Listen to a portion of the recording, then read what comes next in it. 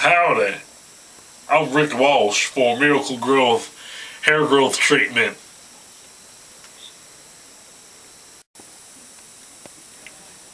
Today we're going to show you how this here product does work. This here is our first participant, Ed Duque. Anyway, I'm uh, gonna give him some of this uh, Miracle Hair Cream, see what happens. Here we go. Where's the cream, boy? Here it is. Miracle Cream. Uh, as you see, you put this in the head as as follows.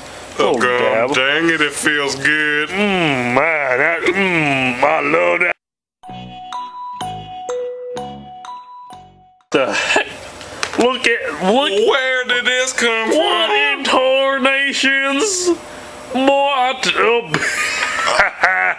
thank, the- thank, Give me the- more of this. thank the good Lord for that, boy. Thank, wait, you might want not want to do all that.